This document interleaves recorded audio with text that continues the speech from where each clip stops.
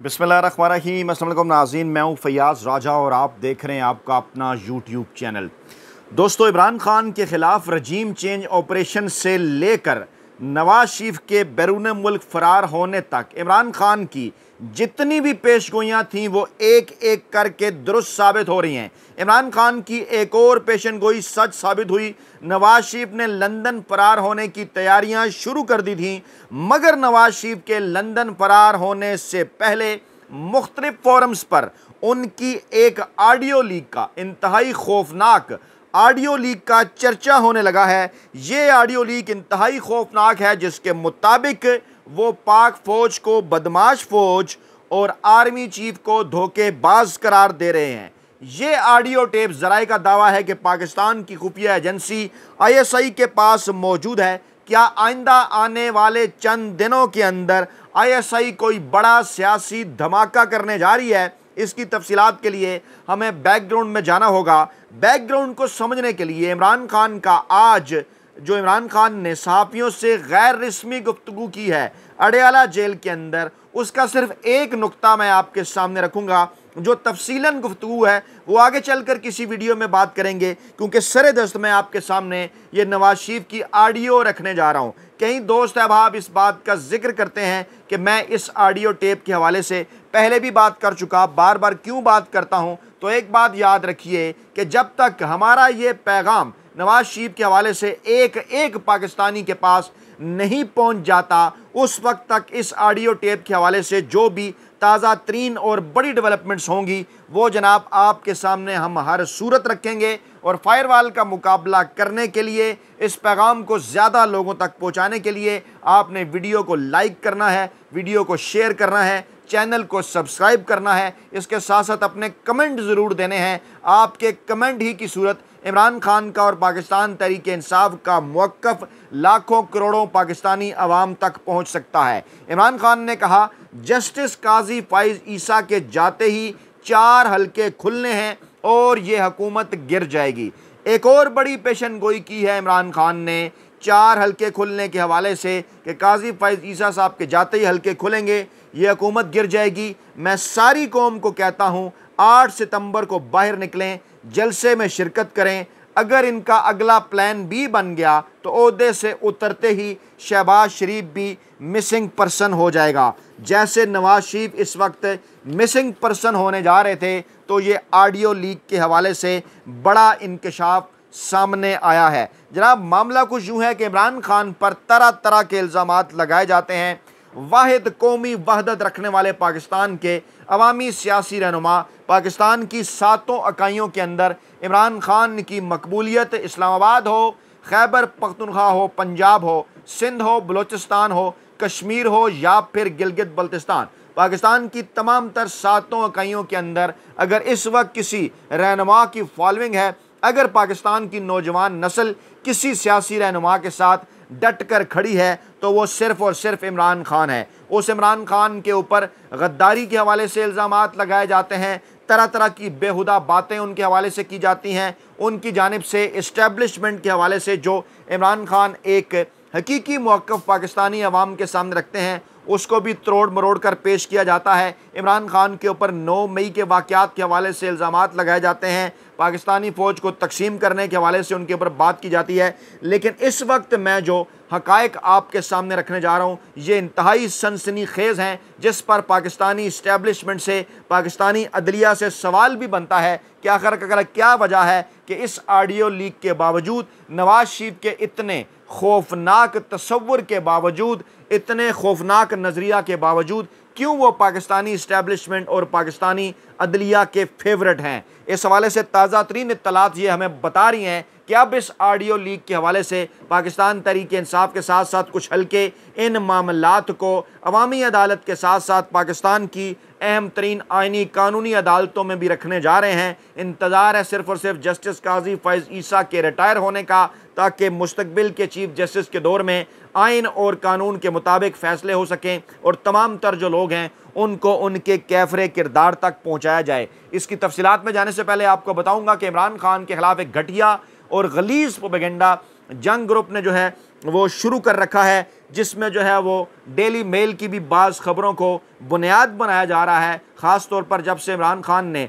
Oxford University के chancellor का election लड़ने का ऐलान किया। उसके बाद उनके खिलाफ ये घटिया और गलीज़ किस्म की कंपेन शुरू कर दी गई और इमरान खान के ख़िलाफ़ मुख्तफ एड्रेस से ई मेल्स की जा रही हैं। ऑक्सफोर्ड यूनिवर्सिटी को शिकायत दर्ज कराई जा रही हैं कि देखिए जनाब, इमरान खान तो जो है वो करप्शन के ऊपर उन्हें सज़ा हुई। इमरान खान के ख्याल तालिबान के मतलब ऐसे थे, इस किस्म के मामला और नहायत इस किस्म की फजूल चीज़ें जो कि ये ज़ाहिर करती हैं कि माफिया हैंडलर्स और सहूलतकार इस बात से परेशान हैं कि आइंदा चंद दिनों के अंदर इमरान खान जब ऑक्सफोर्ड यूनिवर्सिटी के चांसलर होंगे तो उसके बाद वो क्या मंजर होगा कि इतना ज़बरदस्त और इतना काबिल कदर, काबिल एहतराम अहदा रखने वाले पाकिस्तान के एम्बेसडर को जब आपने नाजायज़ तौर पर जेल के अंदर डाल रखा होगा तो फिर दुनिया आपके मतलब क्या कमेंट करेगी? दुनिया पाकिस्तान के सियासी माफिया को हैंडलर्स को सहूलतकारों को क्या कहेगी? क्योंकि पूरी दुनिया को इस बात का अंदाज़ा है कि इमरान खान को क्यों नाजायज़ तौर पर कैद किया गया है। अब इन दिनों इमरान खान के ऊपर सख्तियाँ क्यों बढ़ा दी गई हैं? इस किस्म की खबरें भी सामने आ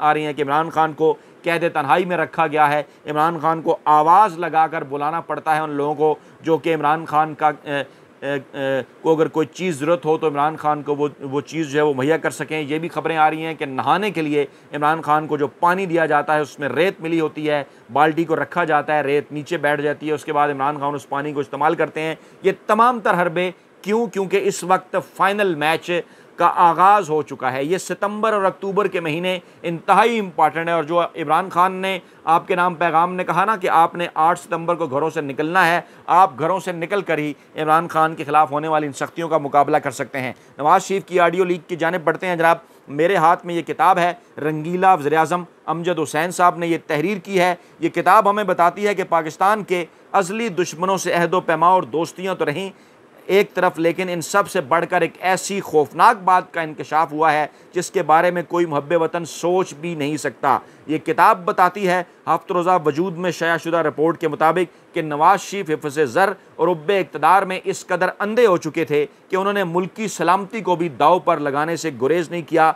बारह अक्टूबर के इस खौफनाक मनसूबे के हवाले से होने वाले नए इंकशाफ के मुताबिक पाक फ़ौज के टेक कवर करने से कबल माजूल वज़म नवाज़ शरीफ ने भारतीय वज़ी अजम अटल बहारी वाजपेयी से हार्ट लाइन पर गुफ्तु की थी। जी हाँ बारह अक्टूबर उन्नीस सौ निन्यानवे के हवाले से से ये रिपोर्ट है, जिसमें नवाज़ शरीफ ने वाजपेयी को पाकिस्तान पर फौरी हमला करने की दावत दी थी और वाजपेयी ने अपनी फ़ौज के सरबराह को पाकिस्तान पर हमला करने के लिए हदायत भी कर दी थी। बाबसूख जराए का यह कहना है कि नवाज़ शरीफ ने अपनी तरफ़ से नामजद करदा। Army chief, lieutenant general retired Khawaja Ziauddin को पाक फ़ौज की तरफ़ से अपना बास नाम मानने और अपने तमाम कार्ड्स पर जाने के बाद आखिरी कार्ड के तौर पर वाजपेयी को हार्ट लाइन पर कॉल की, जिसका दौरानिया तकरीबन तिहत्तर सेकंड था। जो गुफ्तु ही वो आपके सामने रख रहा हूँ। नवाज़ शरीफ फरमाते हैं, वाजपेयी साहब, मैं नवाज़ शरीफ बोल रहा हूँ। वाजपेयी साहब फरमाते हैं, आप बड़े घबराए हुए लग रहे हैं। नवाज़ शरीफ हाँ मैंने कारगिल का महाज खोलने वाले आर्मी चीफ को बरतरफ कर दिया है,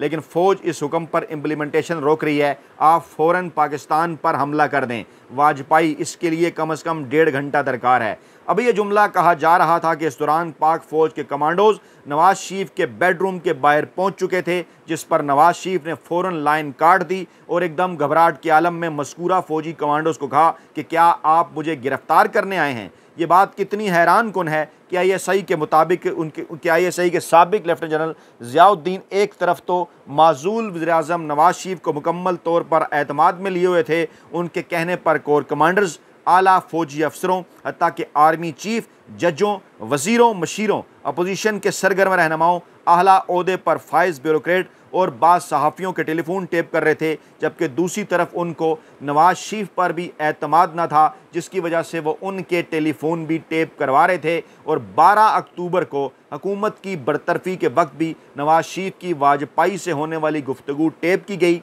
लेकिन हैरान कन बात यह है कि ये कैसेट इंतहाई पुरसरार तरीके से गायब होगी जिस पर इस गुफ्तु को टेप करने वाले आई एस आई के सबक सरबरा लेफ्टिनेंट जनरल ज़ियाउद्दीन के एक चहीते ऑफिसर बहुत परेशान हैं, क्योंकि ये एक ऐसी कैसेट है जो नवाज़ शरीफ के लिए मौत का परवाना बन सकती है और उसके मंजरेआम पर आने के बाद नवाज़ शरीफ के लिए बचाव का कोई रास्ता नहीं रहेगा। हमें उम्मीद है, इस किताब का ये कहना है, हमें उम्मीद है कि हसास इदारे मजकूरा कैसेट का सुराग लगाने में जल्द कामयाब हो जाएँगे।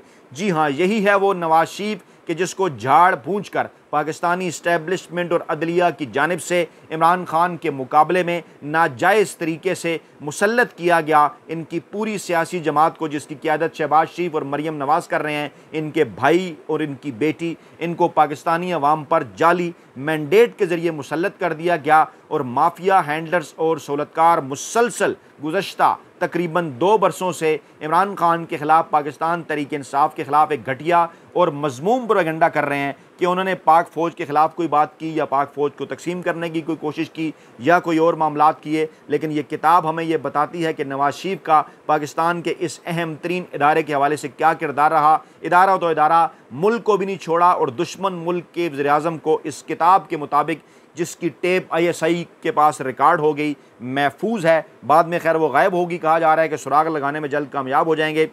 आज एक बार फिर इन इतलात के बाद के नवाज़ शरीफ लंदन फ़रार होने का मंसूबा बना चुके हैं। इमरान खान की पेशगोई के मुताबिक, और जैसा कि आज इमरान खान ने मीडिया से गुफ्तु में अडयाला जेल के अंदर ये भी कहा कि शहबाज शरीफ भी जाने के लिए पर तोलेंगे, जो ही ये हुकूमत गिरेगी, वो भी मिसिंग पर्सन में उनका शुमार होगा। इस वक्त पूछना ये है, इस्लामाबाद के अहम तरीन और बाखबर हल्कों का कि अगर ये कैसेट मौजूद है पाकिस्तानी इस्टेबलिशमेंट के पास, पाकिस्तान की खुफिया एजेंसी के पास तो किस वक्त ये मंजर आम पर आएगी? क्या इस वक्त नवाज़ शरीफ का जो लंदन जाने का प्लान है, वो इस कैसेट के, इस ऑडियो टेप के मंजर आम पर आने के बाद बढ़ सकता है? क्या उनका प्लान फारग हो सकता है? क्या आइंदा चंद दिनों के अंदर आईएसआई पाकिस्तान की खुफिया एजेंसी, नवाज़ शरीफ के हवाले से कोई बड़ा सियासी धमाका कर सकती है? ये पाकिस्तान से मोहब्बत रखने वाले हल्के, पाकिस्तान से मोहब्बत रखने वाले पाकिस्तानी अवाम और ओवरसीज़ पाकिस्तानी पूछ रहे हैं अपने कमेंट्स के ज़रिए भी कि ये है वो नवाज़ शरीफ के जिसके तमाम तर जो काम वो करते रहे, उनके रिकॉर्ड्स किताबों के अंदर, दस्तावेज़ात के अंदर मौजूद हैं, लेकिन उनके ख़िलाफ़ किसी किस्म की कोई कार्रवाई नहीं हुई, बल्कि उन्हें झाड़ पूँछ कर जाली और नकली तरीके से मैंडेट देकर पाकिस्तानी अवाम के सरों पर सवार कर दिया गया। इसी किताब के मुताबिक ये इश्तहार भी है, रोग आर्मी का जो नवाज़ शरीफ की जानब से पाक फ़ौज को बदमाश करार देते हुए बैन अवी अखबार में, जी हाँ रोग आर्मी का ये इश्तहार बैन अवी अखबार के अंदर जो है वो छपवाया गया। इसकी भी कुछ तफसीत हम आपके सामने रखते हैं। ये क्या तफसीत हैं? ये भी इंतहाई होलनाक हैं। ये भी बड़ा सनसनी खेज़ है कि मीडिया के ज़रिए किस तरह से फ़ौज के ख़िलाफ़ वो एक मुहिम चला रहे थे। और ये जनाब किताब का नाम है राय विंड साजिश इस किताब के हवाले से।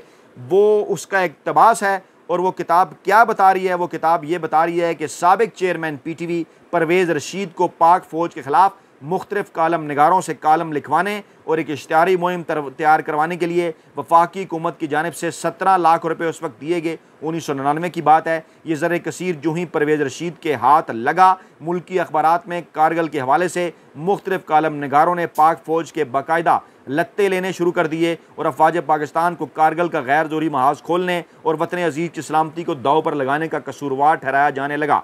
ये सिलसिला यहाँ पर ख़त्म नहीं हो जाता, बल्कि सबका हुक्मरान नवाज़ शरीफ ने अमरीकी सदर बिल क्लिंटन और वाजपेयी पर यह साबित करने के लिए कि कारगिल इशू में उनकी राय या मर्ज़ी शामिल नहीं थी। ये सब कुछ फ़ौज ने उनको बताए बगैर किया है। अपने ही मुल्क के ख़िलाफ़ एक गैर मुल्की अखबार में रोग आर्मी, यानी बदमाश आर्मी का इश्तहार छपाया और इश्तहार की इशात के बाद अफवाज पाकिस्तान की दुनिया भर में तजीक की गई और ये तमाम तर सेल कौन चला रहा था? पॉलिटिकल सेल मीडिया सेल ये नवाज़ शरीफ साहब के उस वक्त के हवारी चला रहे थे, जिसके अंदर परवेज़ रशीद साहब भी थे, दीगर लोग भी थे और अब भी ये सेल काम कर रहा है इमरान खान के ख़िलाफ़ गलीज जो है वो प्रोपेगंडा करने के लिए। मरीम नवाज़ बरह रास्त तौर पर इस सेल को मुख्तफ सहाफ़ियों नाम नहाद जो सहाफ़ी हैं, लेकिन असल में शरीफ ख़ानदान के पे रोल के ऊपर हैं। उनके ज़रिए इमरान खान के ख़िलाफ़ ऑक्सफोर्ड यूनिवर्सिटी के चांसलर का इलेक्शन लड़ने के बाद ये इंतहाई घटिया और मजमूम प्रोपेगेंडा इमरान खान के ख़िलाफ़ किया जा रहा है। दूसरी जानब अगर देखा जाए जैसा कि मैंने तफसीत दस्तावेज़ात के ज़रिए आपके सामने रखी कि नवाज़ शरीफ क्या कह चुके, पाकिस्तानी फ़ौज के मतलब किस तरह से पाकिस्तान पर हमला करने की दावत दे चुके, किस तरह से पाकिस्तानी फ़ौज के ख़िलाफ़ बदमाश आर्मी का इश्तहार छपा चुके, लेकिन वो क्या कहते हैं ना कि पता नहीं क्या ऐसी इनके पास गीदड़ सिंगी है, पता नहीं क्यों ये फेवरेट हैं, पाकिस्तानी इस्टेबलिशमेंट के भी, पाकिस्तानी अदलिया के भी, कि इनको एक बार फिर झाड़ पूंछ कर इमरान खान के बुक्स में पाकिस्तानी अवाम के सरों पर सवार कर दिया गया है। हमें तो एक ही बात समझ आती है कि माफिया, हैंडलर्स और सहूलतकारों की क्योंकि दुकानें साझी हैं, ये सियासी कारोबार उनका इकट्ठा है। इमरान खान के आने की सूरत में पाकिस्तानी अवाम की भरपूर मदद के साथ इमरान खान के आने की सूरत में क्योंकि ये तमाम तर सियासी दुकानें बंद हो सकती हैं, इसलिए इमरान खान के बुक्स में ये सब कुछ किया जा रहा है। फीडबैक ज़रूर दीजिएगा, कमेंट बॉक्स के अंदर अपना बहुत ख्याल रखेगा दो में याद रखेगा नई वीडियो के साथ जिसमें इमरान खान की आज की जो गुफ्तु है डयाला जेल के अंदर की गई, उस पर तफसील से बात करेंगे, आपके सामने रखेंगे, अपना बहुत ख्याल रखेगा दो में याद रखेगा जल्द हाजिर होते हैं, अल्लाह ने के बाद।